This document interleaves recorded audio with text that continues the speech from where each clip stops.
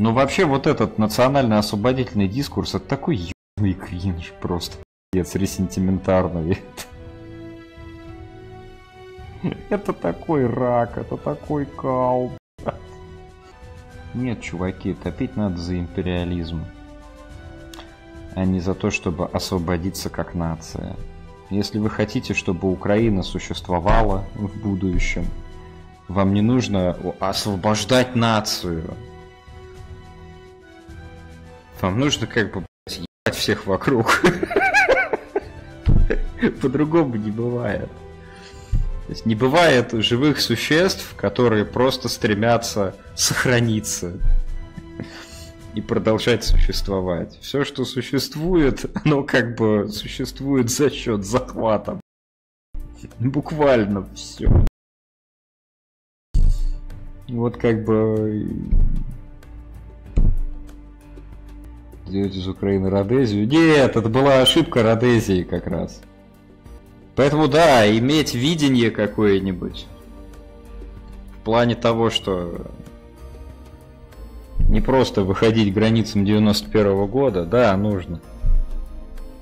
У нас выбора нет. Ни у кого нету выбора. Справедливости ради в этой ситуации. Такова жизнь.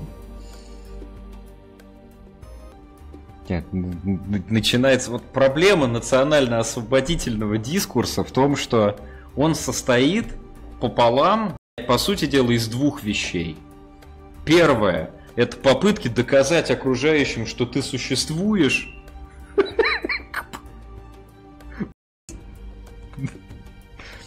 А второе – это дискурс на тему того, что вот это наши исторические границы, и мы хотим вечно в них оставаться.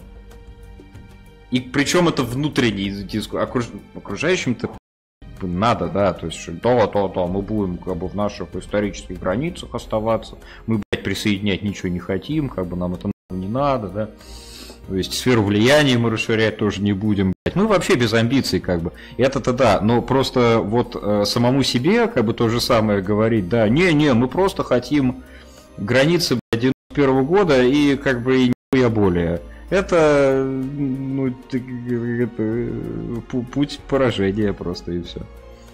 Ну и да, как, когда, когда тебе приходится доказывать окружающим, что ты существуешь, это, это не то, чтобы показатель того, что тебя не существует. Это показатель того, что ты в принципе тратишь свою энергию на какую-то хуйню. Просто перформативную какую-то срань. Потому что когда, когда ты дашь всем ну, как бы у окружающих не будет выбора. Рассказывать, что тебя не существует. Так не бывает. То есть вот про Соединенные Штаты Америки можно столько теорий выдумывать, что не существует американцев. Нет американского этноса. Нет, блядь, нации, потому что у нее в центре нет этноса нет какой-то там национальной религии, можно сказать, да. Вообще она молодая очень, это колония. И в принципе это масоны вырастили, короче, анти-Англию на задворках Британской империи. Да, но вот, э, тем не менее, придется считаться с тем, что США есть, как и, и они тебя будут, если захотят, и все отберут. И так про кого угодно можно говорить, типа, да, там вы там часть какой-то хуйни и так далее. Да, да, да.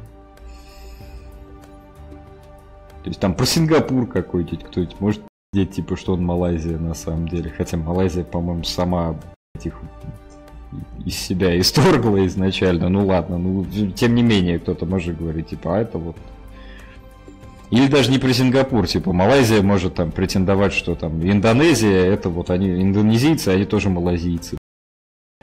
А индонезийцы могут говорить, а малазийцы, они тоже индонезийцы. И как бы и войной, войной друг на друга пойти, короче, священно.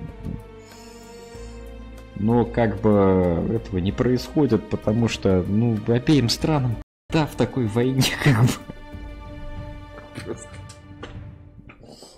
Да, потому что они обе очень многочисленные примерно одноуровневые такие страны.